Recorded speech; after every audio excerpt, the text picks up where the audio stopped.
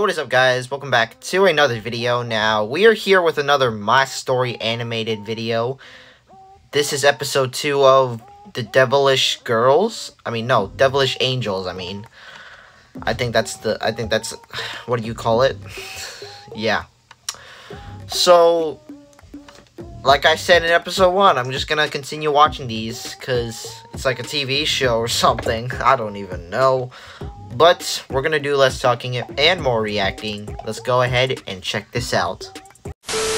Charlie turned around to see Maddie, and his heart skipped a beat. What happened while I was gone? Since when did you girls start mingling with nobodies like him? Suddenly, Charlie walked over to Maddie, and he pulled her close. Yeah, There you kissed are. her. I've been looking for you everywhere. I've missed you. And then he kissed her on the lips, and Brianna was even more surprised than Maddie at Charlie's move. Elijah gritted his teeth and walked away. Wow, what was that about? I've been wanting to say it the whole week, but not on the phone. I do feel the same way. I care about you too, Maddie, a lot. Madison hugged him and smirked at Brianna. Once everyone knew that Maddie and Charlie were dating, his life in school took a 360 degree turn. People stopped to smile What? at him, say hello, crack jokes. Why does it feel like even the teachers are nicer to me? The other two Barbie angels welcomed him into their gang, and being with Madison was a dream. They went on long walks, watched sunsets, ate ice cream, and kissed on top of a Ferris wheel. But later that night, Brianna and Amber cringed hearing Maddie throw up. Is Charlie trying to kill me? That gross Wait, what? ice cream at the amusement park made me sick, and my feet hurt from the long walk. Ooh. And what is so fascinating about freaking sunsets? I think it's sweet. Yeah, because you're not the one suffering. But there is one thing about Charlie. He sure can kiss. Makes you feel like you're the only girl in the world. Ugh, please, spare us the makeout details. Okay, okay.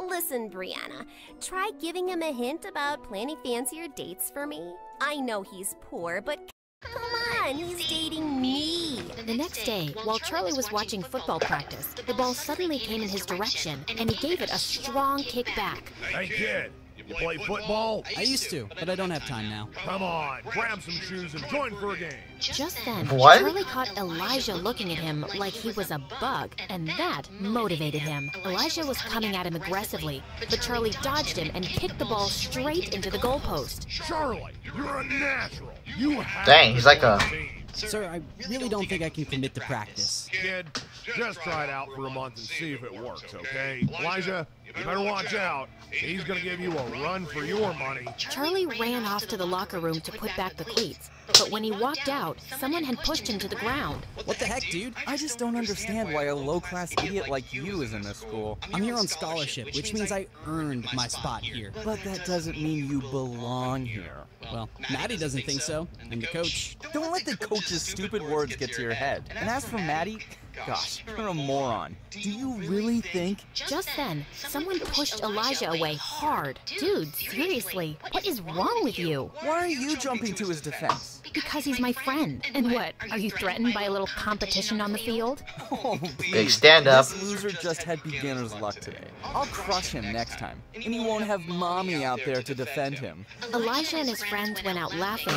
I wouldn't say that if I were you. Fished out a broken snow globe. Great, this was for Maddie. She's so excited about her Vogue photo shoot coming out, and I wanted to give her something thoughtful. Maybe you could do something a little extra? Rent a car, get some flowers, go out for a nice dinner? Girls like being pampered. Wow, yeah, that sounds nice. Thanks, Brianna. Also for saving my butt. Also for calling me your friend. You're welcome. This is the place you were raving about? And why don't you have a reservation? It's walk-ins only, but it's so worth the wait. After 30 minutes, when they finally got a table, the place was dirty and loud. Isn't the energy of this place something else? Yeah, it's something. Oh my god, I just felt something on my foot. Maybe it was my foot. But just then, a What? mouse jumped onto Maddie's lap. She screamed and Jerry? jumping around like a maniac. That's Jerry from Tom and Jerry, I think. And went crashing straight into another table. Oh, Oh. my god. Madison, I am so sorry. Why would you bring me to this horrible place? And did you see all those people who were making videos of me? This is gonna be all over the internet. I get why you're upset. yeah, was, honestly, it would be embarrassed for me for I don't know. Like I when you did something embarrassing in in public, yeah, I guess I guess your um your worst day wor- worst day ever could go on social media. But you know, today's video is tomorrow's old news. No one remembers these things. Excuse me? Are you gonna explain to me how fame works? People don't forget anything. Once something's on the internet, it stays there forever. People can pull it out anytime they want. Ugh, this is officially the worst day of my life. With that, Madison stormed out of the car. Brianna couldn't stop laughing as she watched Madison's video posted online, but now she had to do some damage control. So she called him as Maddie. I've had some time to cool down, and I'm sorry for going off on you like that. And I'm sorry about the mouse and the video. You're right, I don't know what it's like to be famous. It's the best and the worst. It's great to have people look up to you, but sometimes they talk about you like you're not even a real person. And imagine having your failures or embarrassing moments splashed across the news as entertainment.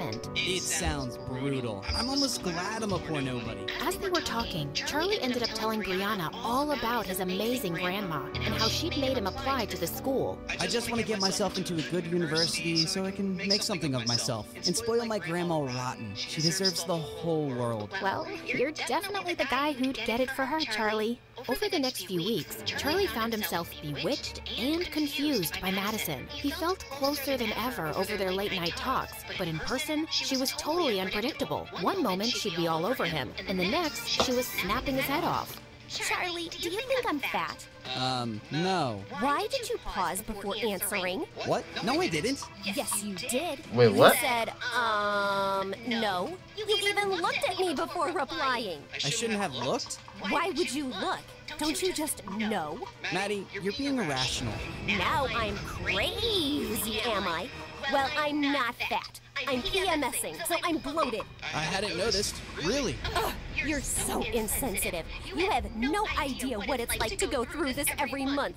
Right now, I feel like killing someone, and I also really want that Thai red curry ice cream. I'll get it for you, babe. Whatever helps you feel better. You getting out of my face would make me feel better. And yes, the ice cream. Now. You got it. Amber and Maddie started laughing hard as soon as Charlie was gone. Dang. I really hope he gets a few tubs of that ice cream. Sounds delicious. I'm pretty sure there's no Thai red curry ice cream, but let's see what he There, no, I don't think that. I don't think that my is. parents I don't think that's real. to our ski resort I don't think that's for real. And I'm inviting you girls with your parents. Should I invite Charlie? You have to, right? He's And a freaking ad.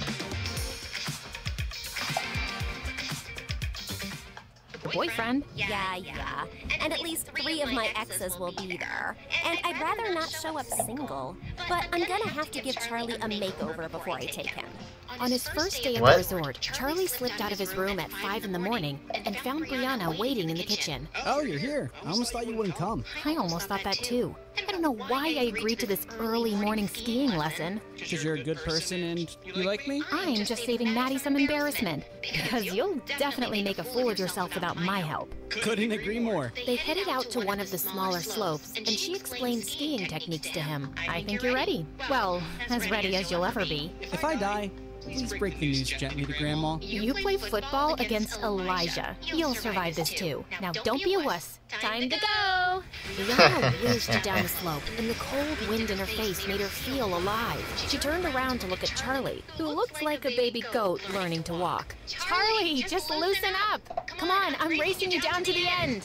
Charlie took a deep breath and relaxed. He was gaining momentum and actually starting to enjoy it. Brianna was flying ahead effortlessly, but he was catching up. But then suddenly, he was going too fast. He tried to slow down, but he just couldn't. And moments later, he felt himself crashing straight into Brianna and Oh. he went oh. tumbling into the snow. Oh. Oh. My god, Brianna, are you alive? Is your neck broken? Please don't die. Say something. Oh, can you shut up for just one second? Yes, of course. Oh, I thought I killed you. Charlie pulled her into a bear hug. You're really okay? Yeah, just got the wind knocked out of me. Imagine the headlines if something had happened to you. Stupid, worthless nobody injures beautiful teen goddess. You, you think I'm beautiful? Well, duh. It's not even opinion. It's just a scientific fact. The sun rises in the east, water boils at 100 degrees, Brianna's beautiful, you got some snow on your face. As they started making their way back, Brianna felt her heart racing. Oh, shake it off, Brianna. You cannot be attracted to your best friend's fake boyfriend.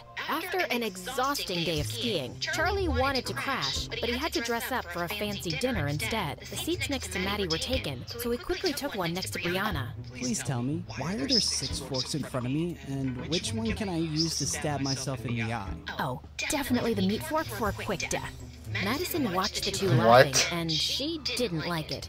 I don't want her getting more attention than me, even if it's from stupid Charlie. Hey, Charlie, could you sit next to Amber, please? Her parents couldn't come, and she, um, broke up with her boyfriend. She could use some cheering up. Charlie nodded reluctantly and took the seat next to Amber. So, Amber, you want to talk about your breakup? Um, okay, sure, why not?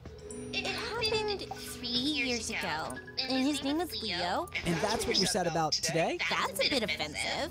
I'm not sad. Do I look sad to you? Just then, Brianna's mom, who was sitting opposite him, spoke. So, Charlie, where were you studying before? Uh, well, I was in public school in another town. I got a scholarship here, so I moved with my grandma, who raised me. And what does your grandma do? She's an amazing healer. She cures people with herbal medicines and different techniques. So she's not a real doctor? N- no, not in the typical sense. And this healer thing, it makes her enough money? Mom, stop! It's okay. Yeah, she earns enough. And I work at the cinema, and I also DJ on the weekends. We manage to take care of each other. There was an uncomfortable silence, and Charlie felt his face turning hot. Then, Maddie's mom spoke with her country accent. That's sweet, honey. You seem like a brat kid, and I'm sure you'll go places one day. It's funny how life turns around. I mean, look at me. I was raising little Maddie as a single teenage mom in a trailer park with nothing. And then, boom, one day I won the freaking lottery. And we That was lucky. Imagine a homeless guy won a lottery. And life's amazing now. Let's raise a toast to our blessings. Brianna looked over at Madison, who looked like she was gonna crush her glass. She always felt ashamed of her past and that she wasn't born rich like everyone else. Just then, Amber said she wasn't feeling well, and as she was leaving, she tripped over the carpet and fell down. Amber, are you okay? Did you hit your head? No, I didn't. But it hurts so bad lately. And even my eyes. Like sometimes I wake up and it takes me like two seconds to see the light, and I swear the lights are on. You know, I'm a scared cute mouse, right? I don't sleep in the dark. Okay.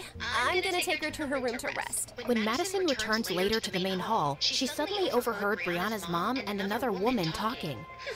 That woman sure loves to tell her trailer park story. She's been rich for years now, but she still sounds so trashy. Money can't buy class. And now look at Madison's choice of boyfriend. I mean, he's sweet, but no amount of designer clothes can hide where you really come from. Madison's ears burned as she stormed off and ran straight into Charlie in the oh. hallway. Oh. Hey, I was looking for Oh. you. How's Amber? Why did you say all that nonsense at dinner? What? Oh, I'm on scholarship, and I work at the cinema, and my granny does voodoo. It's not voodoo. And why would I hide all that? It doesn't embarrass me. And even your mom was poor, and she's not ashamed of it.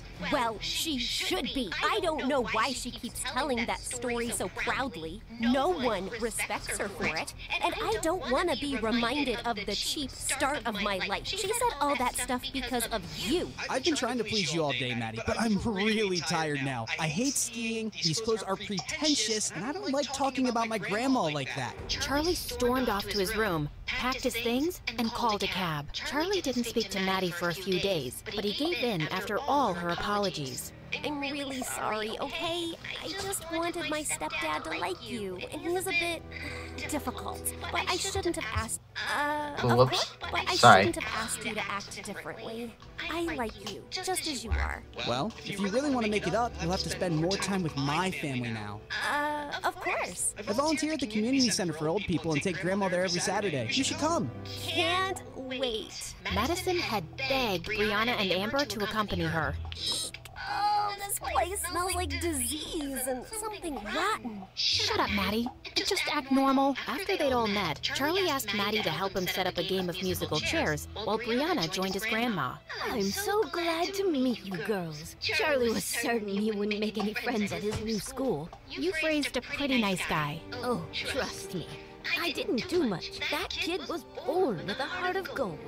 Once, when he was eight, he came home saying he'd lost his bicycle somewhere, and I was so mad. Well, a week later, I found him three streets down, teaching a little girl how to ride that bicycle. He told me that she'd lost her brother recently, and the cycle made her happy. She needed it more than he did.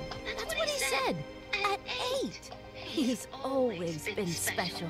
Later that night, Wow. Brianna's heart felt heavy when she got Charlie's text. Thanks for today, Maddie. It meant the world to me, and I love you. I love you too, Charlie. The next day, when Brianna showed Maddie the text, she was ecstatic. Finally, the three golden words. Uh, it's time for phase three of Project Plaything. Dump his sorry butt. Yay! Then sushi in Tokyo. But, Maddie, he really cares about you, and dumping him out of the blue feels cruel. Can we think of an easier way to let him down? But this was always the plan. Are we supposed to care about his feelings now? Well, yeah. We've gotten to know him, and I just think he would take this really hard. You know what? You're right. He is a bit oversensitive. Maybe I can be really difficult the next few weeks. And then he'll just What? get sick of me and be happy to break up. That sounds better. Thanks. After Brianna walked away, Madison turned to Amber. Who does she suddenly think she is? Mother Teresa? I'm tired of Charlie, and I want to pay him back for the times he was rude to me. I have the perfect plan to dump that loser. But don't say anything to Brianna, okay? Oh, I oh, love it when we have secrets. Just the two of us. Three days later, it was Madison's birthday, and she was having a big party Oh, in a dance no. club with Charlie as DJ. Then suddenly, she climbed onto a table with a mic. May I have everyone's attention, please? I have something to say to our resident DJ. Everyone fell silent, and Brianna suddenly had a horrible feeling. As What? you all know, I've turned 17 today, and I just want to start this year fresh. So, Charlie, I'll start with you, because I just can't fake things anymore. You were just What? a game to me, okay? To us. I got bored, so my girls and I decided to make you fall in love with me as a challenge. Actually, Brianna was the one who brought you to my attention. It's been fun messing around with you, but it's just made me realize that dating below my league isn't for me. I don't relate to you and your third world problems, dude. But thanks for a few fun weeks, and I'm sure you'll find a nice average girl soon. Ciao. Charlie just stared at her, frozen in his place. Oh my. in front of. Oh my gosh, that's that is in front of a lot of people there. Oh. I, I wonder how they react in the next episode. Might as well. I might as well watch it tomorrow. Um, yeah. If an SML movie drops today, I might as well do one. But if it's tomorrow, yeah, uh, yeah. So yeah, guys, if you enjoyed this video here, make sure to drop a like and subscribe. Uh, help me reach the 5,000 subscribers, and I'll see you guys in the next video. I'm out.